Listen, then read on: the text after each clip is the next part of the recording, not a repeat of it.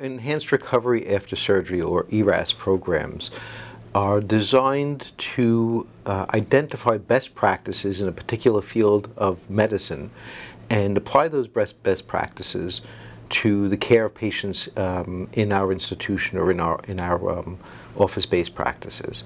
We know that there are about 4 million uh, deliveries or births in the United States uh, every year. About a third of those are cesarean sections or C-sections. The same proportions happen here at St. Barnabas, where we have about 6,000 births per year, about a third of them being C-sections. And looking at how we uh, perform those cesarean sections versus the best practice is how all ERAS programs begin. How do we do it, and how should we do it? And because we do as many at St. Barnabas as we do, it's important to do it the best way every time. So the, the study that we did was a substantial uh, effort on the part of many here at St. Barnabas Medical Center to improve the overall outcome. What we've done is with our approach to pain management and getting the patients up and moving quicker after surgery, taking their Foleys out much earlier than we ever did before.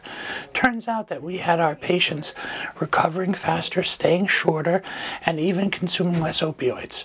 This process allowed us to reduce the use of opiates from 85% to less than 25% of all the moms. And of those who received opiates during the hospital stay, of that smaller proportion, um, they received 25% as much as they would have received had we not implemented this ERAS program using non-narcotic, non-opiate based pain control with excellent results the, the amount of people that get addicted to opioids has skyrocketed over the last several years because the medicine profession is giving patients these, these medications. And if we choose not to do that, if we have a different method of taking care of uh, patients, and in fact, what we like to say now is we don't practice that kind of medicine anymore. And so by not practicing that kind of medicine, we're not putting it out there into the surrounding community. And I think that's a good thing. The mothers have been excited.